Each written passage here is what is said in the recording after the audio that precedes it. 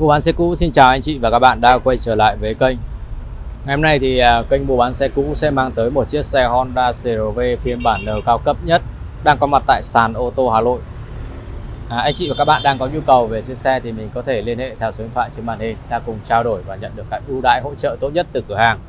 Tổng thể sơ qua về ngoại thất của chiếc xe thì anh chị và các bạn cùng có thể đánh giá với em về chất lượng sơn si cũng như là các phần à, hệ thống đèn của chiếc xe xem nó có độ đẽo gì không về cơ bản thì phần đầu xe của chiếc xe này thì nó vẫn còn nguyên bản theo nhà sản xuất không có độ đẽo gì cả.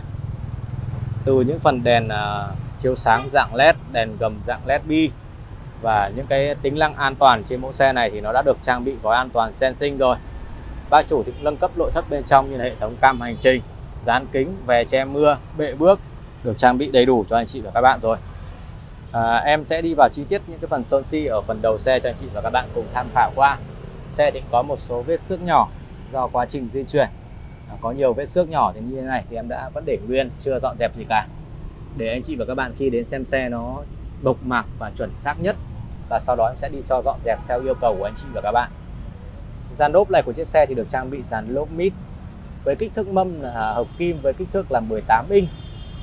Đây là những cái phần đết lốp của chiếc xe thì anh chị và các bạn có thể nhìn qua cùng em và đánh giá xem xe nó có được đẹp hay không.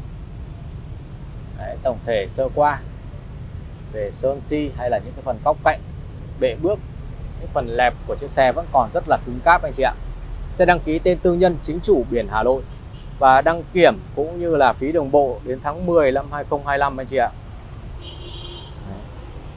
Đây là những đường led dọc thân xe ta có thể à, tham quan qua.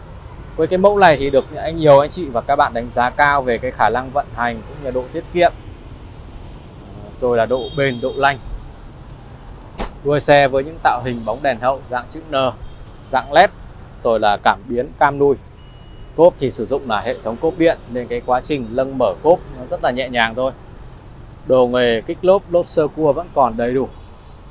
Đây là những cái phần con ốc này hay là những phần máng nước con ốc bắt đèn các phần uh, chấm KCS của nhà sản xuất anh chị có thể thấy.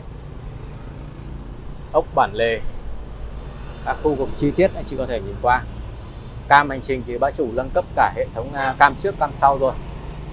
Giúp cho anh chị và các bạn có thể ghi lại lịch sử di chuyển cũng như là đảm bảo cho anh chị và các bạn khi cần mình có thể chiết xuất ra à, khi cần. Đây là những cái phần tổng quan bên ngoài ở phía sau khi ta nhìn lên.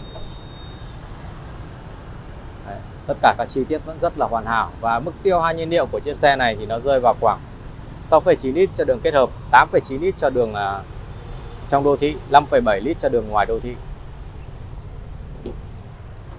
Với cánh cửa của chiếc xe thì anh chị và các bạn có thể nhìn qua giúp em với những cái chi tiết keo chỉ con ốc đinh tán này hay khu vực táp ly với những các phần phím bấm chức năng lên xuống kính này tay mở cửa mạ trôm và những cái phần ốp giả vân gỗ. Những cái điểm này nó sẽ giúp cho chiếc xe nhìn trông nó nổi bật và sang hơn.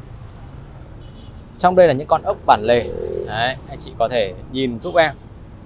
Má ghế của chiếc xe nó vẫn còn căng mọng như này chị này. Em bóp cho anh chị và các bạn có thể thấy da rất mềm anh chị ạ. Với cái bộ da mềm như này thì khi di chuyển đường xa thì mình sẽ không bị cảm thấy khó chịu và mệt mỏi. Có bệ tí tay tích hợp ly để cốc đầy đủ. Hay là ba tự đầu cửa gió điều hòa trung tâm. Và điểm để phân biệt được phiên bản cao cấp thì có thể nhìn qua cái phần trần xe có hệ thống cửa sổ trời. Với bản à, tiêu chuẩn hay bản à, à, thấp thì nó sẽ không có đâu anh chị nhé và đây là những cái chi tiết về phần cánh lái của chiếc xe. Với hệ thống táp ly và những các phím bấm chức năng khu vực à, ốp giả vân gỗ này. Rồi là những cái phần tính năng an toàn à, cảnh báo va chạm này rồi là hệ thống trông chơi à, cảnh báo vượt trên gương này. Vô lăng thì có sẽ có tích hợp cho anh chị và các bạn là phanh khoảng cách duy trì làn đường giới hạn tốc độ rồi là các phím chức năng. Và phía sau thì nó sẽ có đèn auto và mưa auto lưỡi chuyển số thể thao. Và điểm hay của nó là có cái phần à, cam lề đây anh chị này. Lịch sử bảo dưỡng của chiếc xe đây anh chị nhé màn hình giải trí tất cả các chi tiết này đều là nguyên bản theo nhà sản xuất không có độ đẽo gì cả. Sạc không dây hay là hệ thống gương chống chói. Bác chủ thì cũng đã lên cấp cho chiếc xe như là hệ thống cảm biến áp suất lốp rồi anh chị ạ các bác mua về sẽ không phải nâng cấp thêm những cái tính năng hữu ích này nữa. Về cơ bản, những cái tính năng cần thiết nhất cho một chiếc xe thì bác chủ đã nâng cấp hết rồi. Mình mua về chỉ việc sử dụng thôi. Và đây là những cái phần máy móc của chiếc xe thì anh chị và các bạn có thể nhìn giúp em từ những con ốc đinh tán này, hay là những phần ác quy này, thanh rằng mấu nối của chiếc xe để mình có thể nhìn và đánh giá qua ốc chân máy, ốc mặt máy, keo mặt máy những điểm để mình có thể cùng đánh giá tổng quát về chất lượng chiếc xe cũ đã qua sử dụng. Cửa hàng luôn cam kết rõ nên các bác có thể là an tâm thể hiện rõ trên văn bản hợp đồng. Với chiếc xe Honda CRV phiên bản N sản xuất 2019 nhập khẩu nguyên chiếc Thái Lan đang được đơn vị chào bán cho anh chị và các bạn 920 triệu giá còn giảm và thương lượng anh chị nhé.